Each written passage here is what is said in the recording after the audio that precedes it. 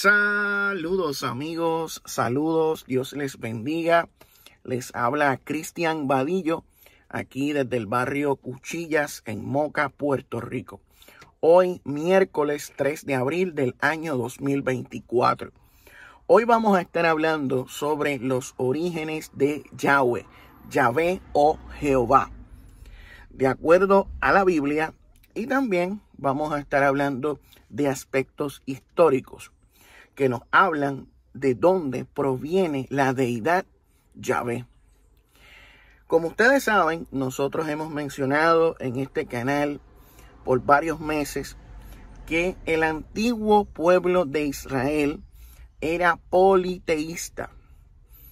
O sea, ellos adoraban y le rendían culto a diferentes dioses, diferentes divinidades, entre las cuales se encontraba el Dios supremo del panteón cananeo, Él. Él era el Dios padre de otros dioses junto con su consorte Aserá. Era el padre de Baal, era el padre de muchos dioses. Él también era conocido como el Elión o Dios Altísimo. También era conocido como el Shaddai, el de la montaña, el Olam, el Roí. Y vemos en Génesis capítulo 33, versículo 20, que el patriarca Jacob eh, erige un altar dedicado a la divinidad Él que dice el Dios de Israel, el Eloje Israel.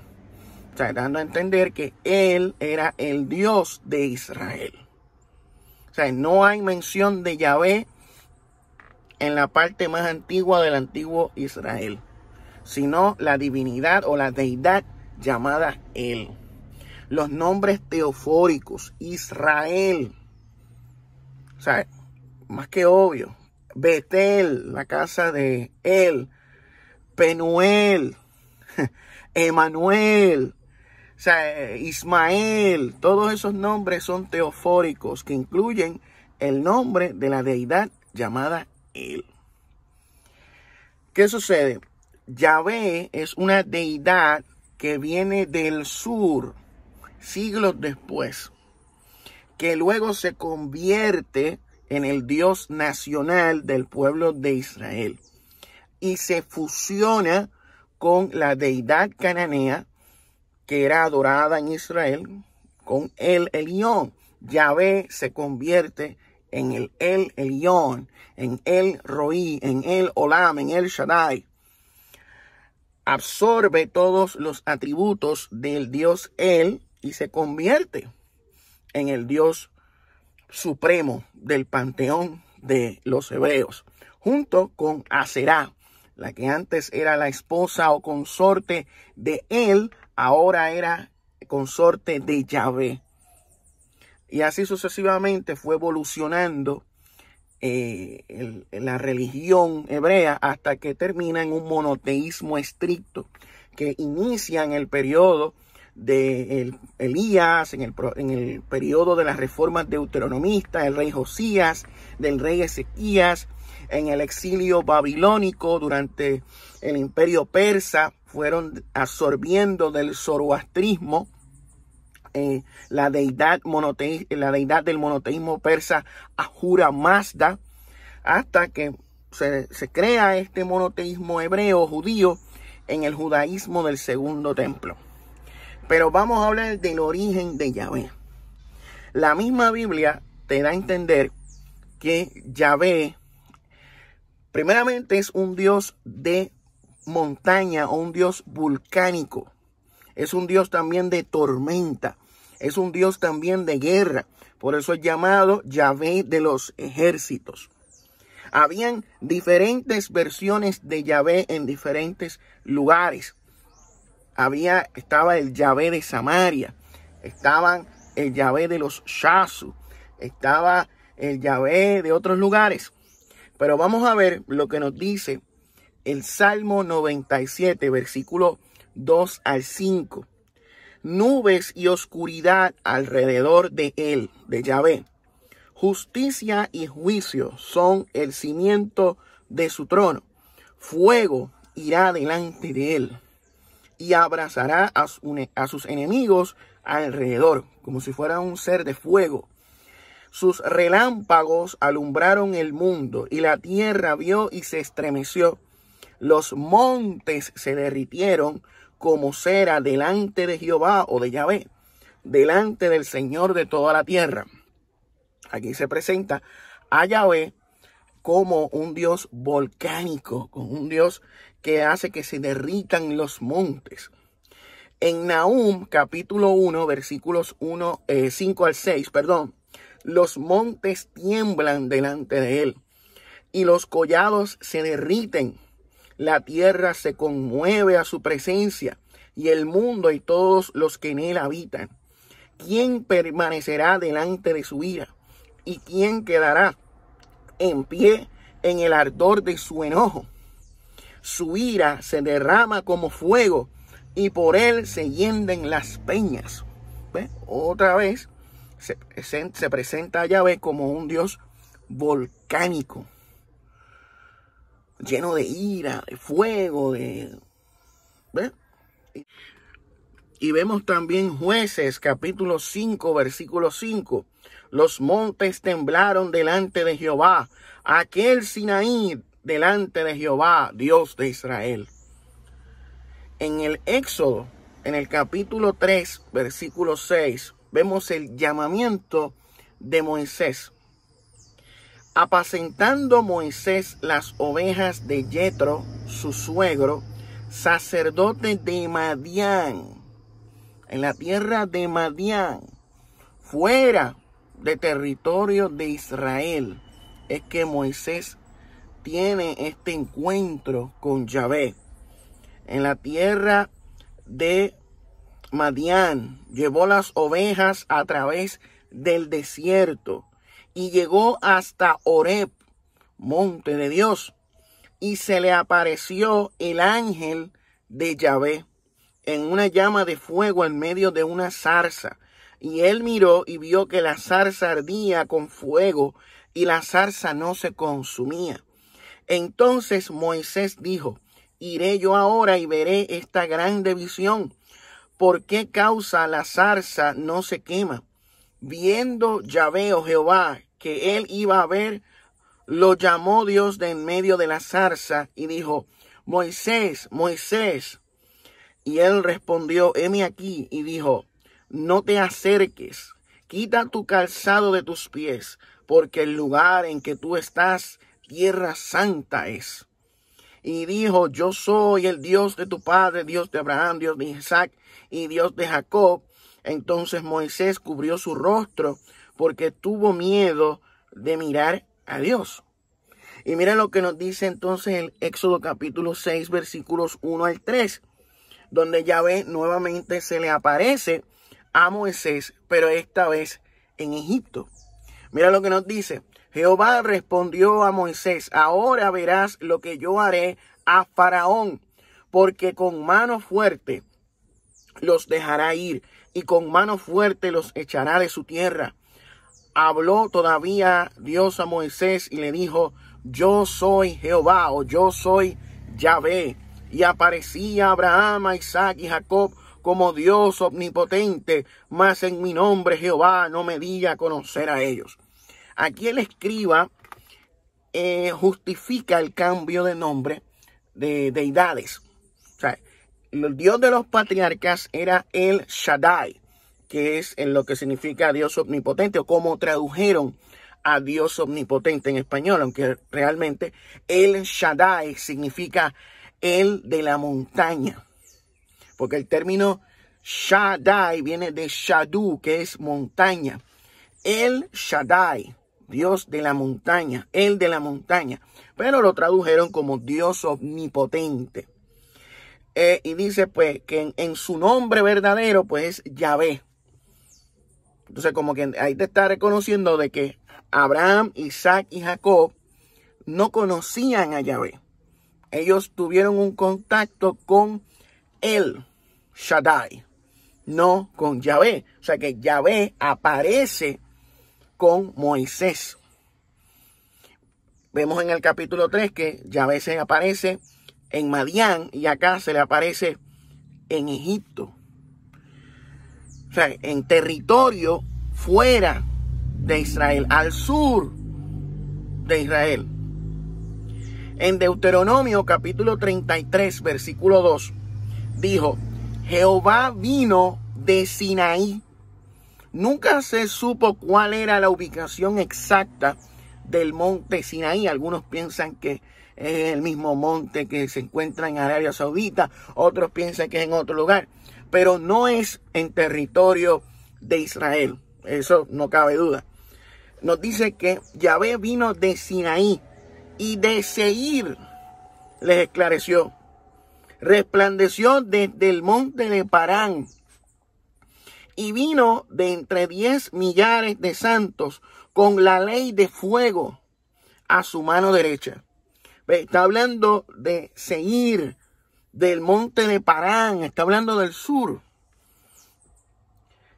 En jueces 4 al 5 dice, cuando saliste de Seir, oh Jehová, cuando te marchaste de los campos de Edom, Edom, territorio de los edomitas, descendientes de Esaú, que están al sur de Israel. Aquí nos dice que Yahvé viene del sur, de los campos de Edom, de los edomitas. La tierra tembló y los cielos destilaron y las nubes gotearon aguas, los montes temblaron delante de Jehová, aquel Sinaí delante de Jehová, Dios de Israel. O sea, aquí ya Yahvé ha sido entronizado como el Dios de Israel, el Elohim de Israel ahora es Yahvé, Yahvé Elohim. ¿Ve? Yahvé Elohim. Pero nos dice que, que vino de, que salió de Seir que vino de los campos de Edom, que se marchó de los campos de Edom, al sur de Israel, en una zona desértica. En Salmo 68, 7 al 8 nos dice, oh Dios, cuando tú saliste de tu pueblo, cuando anduviste por el desierto, la tierra tembló también destilaron los cielos ante la presencia de Dios. Aquel Sinaí tembló delante de Dios, del Dios de Israel.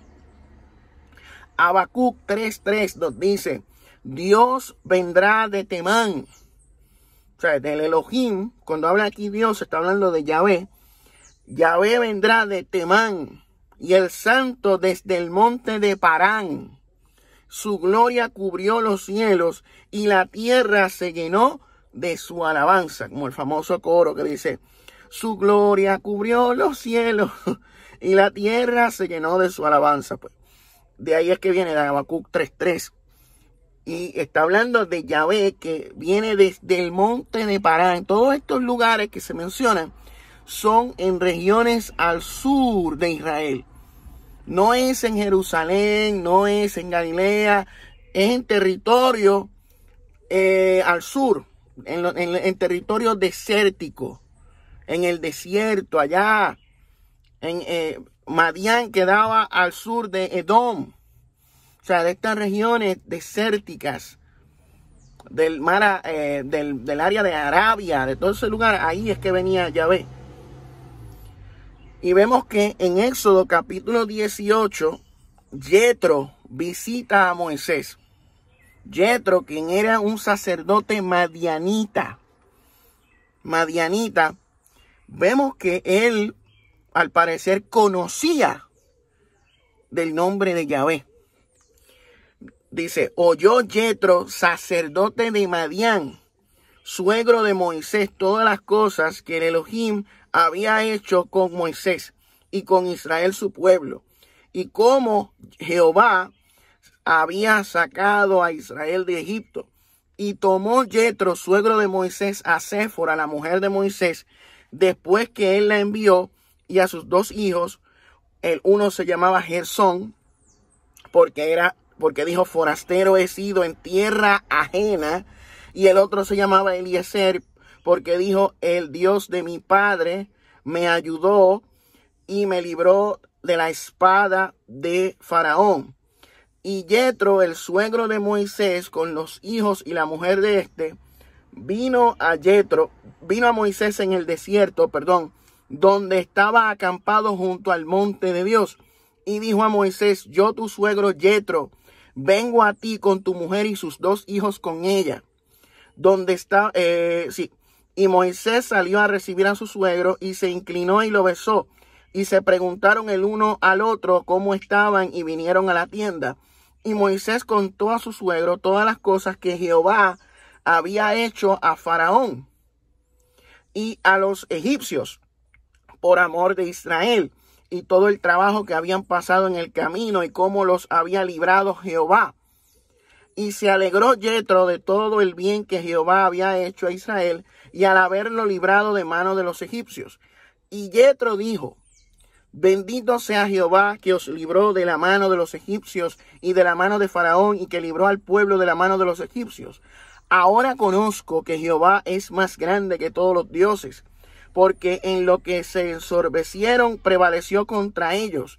Y tomó Yetro, suegro de Moisés, holocaustos y sacrificios para Yahvé, para Dios y vino Aarón y todos los ancianos de Israel para comer con el suegro de Moisés delante de Dios o de Yahvé. O sea que Yetro le ofreció sacrificios, ofrendas a Yahvé, siendo sacerdote madianita. O sea, él tenía conocimiento de Yahvé, de Jehová. O sea, es posible que Yetro haya sido sacerdote de Yahvé antes de que Moisés apareciera en el escenario y toda esta cuestión. Entonces, que él haya introducido a Moisés en el culto a Yahvé. Hay varios eruditos que piensan eso, que Jetro ya era sacerdote de Yahvé antes de conocer a Moisés y que fue él quien lo introdujo al culto de Yahvé. Porque cuando vemos, hay muchas cosas eh, en el culto a Yahvé que vemos en el Éxodo, el tabernáculo que crean, que supuestamente Yahvé le revela a Moisés en el monte Sinaí cuando está por allá 40 días y 40 noches allá en, ese cerro, es muy parecido a el, el, modelo de templo egipcio. El arca del pacto, que era una caja que, tenía como unos palos así bien largos y unos seres eh, alados, unos querubines, es exactamente lo mismo que podemos ver en la, el arca, en las arcas egipcias de Anubis, en los templos egipcios. Los templos egipcios tenían las mismas divisiones que el tabernáculo eh, de Israel, de los hebreos, donde estaba el Holy of Holies, el, lugar santísimo. Ahí es donde colocaban el arca del pacto.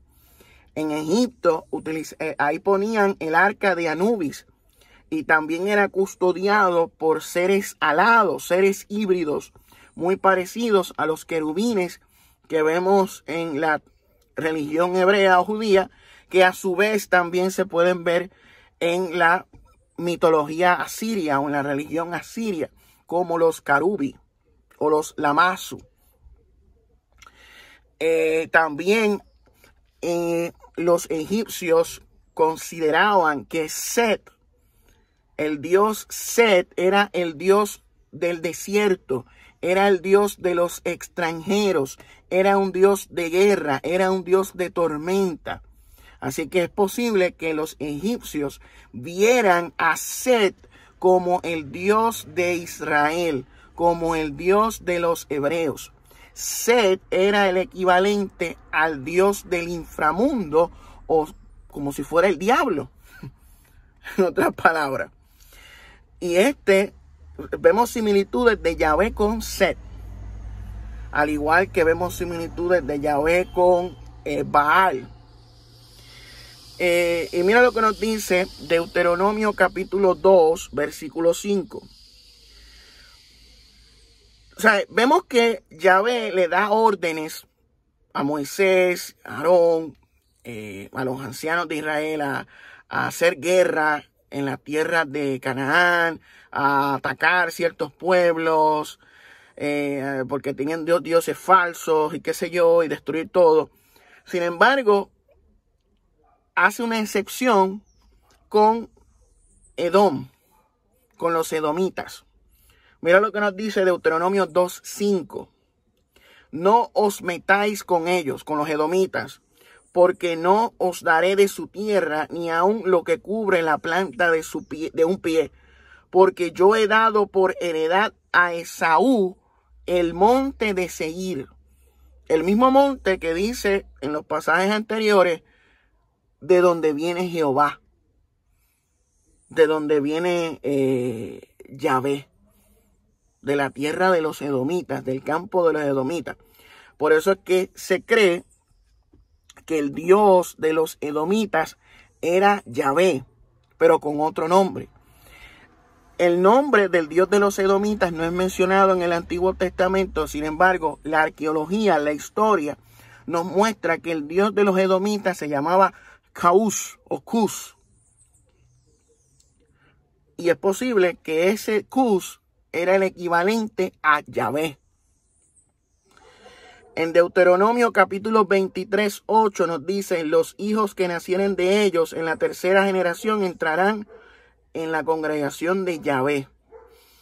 Ahí creo que escribí un versículo más y, lo puse acá porque de verdad no creo que esto haya sido lo que estaba, había anotado. Quizá me confundí.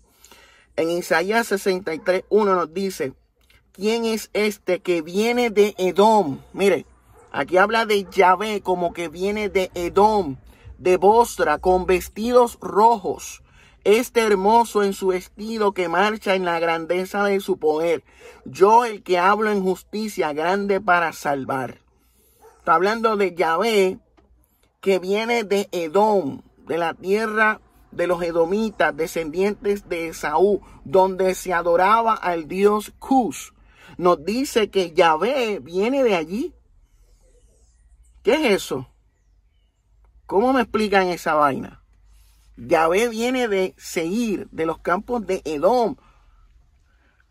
Mira, hay dos textos egipcios que se han encontrado, que la arqueología ha encontrado, uno fechado en el periodo de Amenhotep III en el siglo XIV antes de Cristo y el otro en la época de Ramsés II en el siglo XIII antes de Cristo que se refieren a la tierra de los Shasu de Yahú o de Yahvé en los que Yahvé, también traducido como Yahu, es un tipo, un topónimo. Y esto es antes de los hebreos. Ve, con respecto al nombre Yahvé, Michael Astor observó eh, que la interpretación jeroglífica corresponde con mucha precisión al tetragramatón hebreo eh, YHWH o Yahvé y es anterior a la aparición más antigua hasta ahora de ese nombre divino en la estela moabita por más de 500 años. O sea, la estela moabita es una, una, estela antigua donde se narra se menciona a Yahvé de un conflicto entre los moabitas y el dios Kemosh y Israel con Yahvé, donde Kemosh derrota a Yahvé en la estela moabita y se menciona a Yahvé. Esa era la, la, mención de llave más antigua que se tenía hasta que encontraron estos textos egipcios que son 500 años más antiguos y habla de la tierra de los Shasu, que era un grupo nómada, era un grupo de mercenarios que combatían con egipcios y combatían con ejércitos asiáticos. Eh, Kay Van der Thorn concluye que en el siglo XIV antes de Cristo, antes de que el culto a Yahvé hubiera llegado a Israel, grupos de edomitas y madianitas adoraban a Yahvé como su Dios. Y esto es consono con lo que, los versículos que acabamos de leer de Isaías 65, los versículos que leímos de los Salmos, de jueces, que hablan de que Yahvé venía de Seir, del monte de Parán, que venía desde los campos de Edom. ¿Ve? Daniel B. Redford ha argumentado que los primeros israelitas montañeses seminómadas dentro de Canaán, mencionados en la estela de Mernetá a finales del siglo XIII a.C., deben identificarse como un enclave Shasu, dado que la tradición bíblica posterior retrata a Yahvé saliendo de Seir, el Shasu originario de Moab y del norte de Edom Seir, pasó a formar un elemento importante en la amalgama que constituiría el Israel que más tarde estableció el reino de Israel. Según su propio análisis de las cartas de El Amarna, Anson Rainey concluyó que la descripción de los Shasu se ajusta mejor a la de los primeros israelitas si esta, si esta identificación es correcta estos israelitas Shasu se habrían asentado en las tierras altas en pequeñas aldeas con edificios similares a las estructuras cananeas contemporáneas hacia finales del siglo XIII antes de Cristo. ¿Vieron esto? O sea que antes que Yahvé fuese adorado por Israel, era adorado por grupos edomitas, por grupos madianitas de del sur, grupos seminómadas o nómadas del sur, que llegaron allá al norte. Entonces ahí eso explicaría el por qué en el Antiguo Testamento se menciona de que Yahvé viene de Edom, que viene de Parán, que viene de Seguir, porque ese es el origen. Y es posible que el dios Cus o Caus sea el equivalente al dios Yahú o Yahvé de Israel. Porque viene de ahí. O sea que hubo un proceso de asimilación en la interacción cultural religiosa entre los pueblos, las invasiones, los conflictos. Pues ocurrían sincretismos religiosos, apropiaciones y adaptaciones culturales y se creaba un culto nuevo. Entonces, el Dios Yahvé se, centralizó en Israel en la parte del sur, en el territorio de Judea. Ahí es donde estaba centralizado el culto a Yahvé. En el reino del norte, porque hubo una división, el reino unificado de Israel se dividió en dos, el reino del norte y el reino del sur. En el reino del norte, el culto a él se mantenían, o sea, habían costumbres del culto cananeo que permanecieron en el reino del norte, que luego fue eh, invadido por los asirios. Y después los del sur fueron invadidos por los babilónicos. El culto a Yahvé se centralizó en Jerusalén, donde se construye el templo, el yavismo. El rey Salomón construye este templo, pero también construye otras edificaciones dedicadas a otros dioses, como a Chemosh, y a otros, incluso hasta se, hacían sacrificios eh, humanos cerca del, templo de Jerusalén, a, a Moloch. Se han hecho, encontrado hallazgos arqueológicos de, un montón de niños muertos que fueron sacrificados al dios Moloch allí cerca del templo de Jerusalén, cerca de esas regiones. O sea, que hubo un politeísmo, un enoteísmo, donde diferentes grupos adoraban a diferentes dioses. Israel era politeísta, pero luego se convirtió en enoteísta, donde nace el yavismo, que era un enoteísmo monolatrista, donde Yahvé era el dios principal, pero también se permitía el culto a otros dioses como Ácera, Quemos y otros. En el norte, pues también existían altares dedicados a Yahvé, pero también existían eh, otros dioses que eran adorados y costumbres más parecidas a la religión cananea. Entonces vemos esta misma división del norte y el sur permaneció por siglos.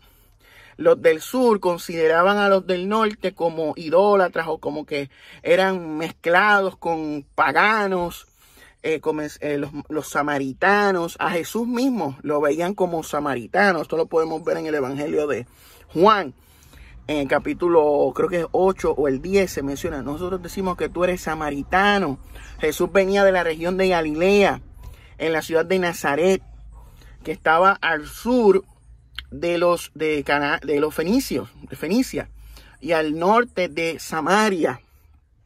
Entonces, eh, ahí se mantenían ciertas costumbres antiguas al antiguo reino de Israel, donde se había más eh, sincronía con el Dios Él. Y por eso es que Jesús tiene ciertas, ciertas cosas con el Elión. Es mencionado como el hijo de Elión. Es mencionado como sacerdote según el orden de Melquisedec. Un sacerdocio distinto al sacerdocio que ya estaba establecido en el sur, en Judea, en Jerusalén. El sacerdocio eh, levítico, el sacerdocio mosaico, arónico donde la Torah era el centro, donde Moisés era el centro, donde los sacrificios de animales y, y Aarón y esto y lo otro, mientras que en el norte el Melquisedec que, que sacrificaba pan y vino, Jesús saca el pan y el vino, esta es mi sangre, esta es mi carne, que será ofrecida para el perdón de los pecados, es el sacrificio de Cristo que representa el fin de los sacrificios que hacían en el sur, la validez de los sacrificios de sangre, como quien dice, ya no hay necesidad de sacrificios de sangre, porque yo me estoy ofreciendo a mí mismo para el perdón de los pecados de la humanidad. ¿Ve? O sea que había un conflicto religioso. Jesús representaba más la religión del norte cuando fue al sur. Y es en el sur precisamente donde Jesús muere crucificado. En el norte el mensaje de Jesús fue más receptivo pueblos del norte, samaritanos, recibieron más el mensaje de Cristo que los del sur, que eran más yavistas. Los fariseos, los saduceos eran resistentes al mensaje de Jesús. Y por eso se dieron todos estos revoluciones. O sea, eh, la cuestión es bien compleja. Eh, eh, hay que seguir indagando, hay que seguir rebuscando para, para ver con más claridad.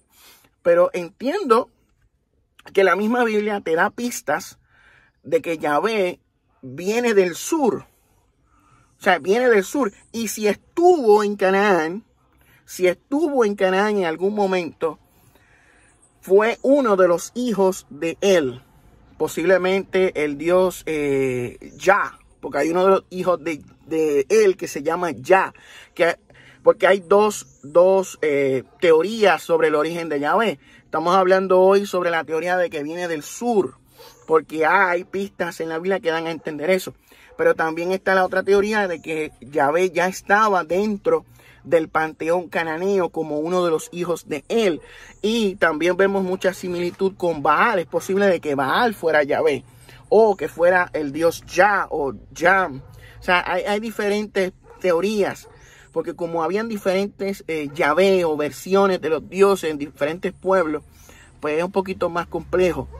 Eh, no es algo que tú puedes eh, rápidamente decir, mira, esto es así, siempre fue así, no, porque eh, los cultos evolucionaban, cambiaban, se mezclaban, se adaptaban o quitaban cosas, añadían cosas. Era, era constante el cambio. Y es un poquito complicado esto. Pero es, así, ¿sabes? Yahvé no era de, del el Dios original de Israel. En eso estamos claros. El Dios original de Israel era el Dios cananeo, el Elión, él, el Altísimo, el Olam, el Shaddai. De ese era el Dios original de Israel. Yahvé viene después a convertirse en el Dios nacional de Israel. y, y, vemos las cosas que Yahvé mandó hacer de acuerdo al libro de Levítico, lo que hizo de acuerdo al libro de Números, en el libro de Josué, que ordenaba exterminios de pueblos enteros, algo muy distinto al Dios que representa Jesucristo en el Nuevo Testamento, y por eso pensamos también que Jesús y Yahvé no tienen ninguna relación. Creemos que Jesús es el Hijo de Él, el Hijo del Dios Altísimo. Sea, no creemos que Jesús es el hijo de Yahvé, ni que mucho menos sea Yahvé, aunque hayan algunos que hayan interpretado que Jesús era el hijo de Yahvé o que Jesús era Yahvé mismo. Esa es nuestra postura al respecto. Pero nada, amigos, lo voy a dejar hasta ahí. Eh, este ha sido, esto ha sido todo por este video. Dios les bendiga, Dios les guarde. Si este video fue a su agrado, denos like, comparta este video, dejen déjenos sus opiniones en la caja de comentarios. Estaremos respondiendo a, los comentarios que, nos quieran hacer o algunas preguntas, eh, recomendaciones. Están libres de hacerlo. Eh, UAP for Life, me voy, me despido y hasta la próxima.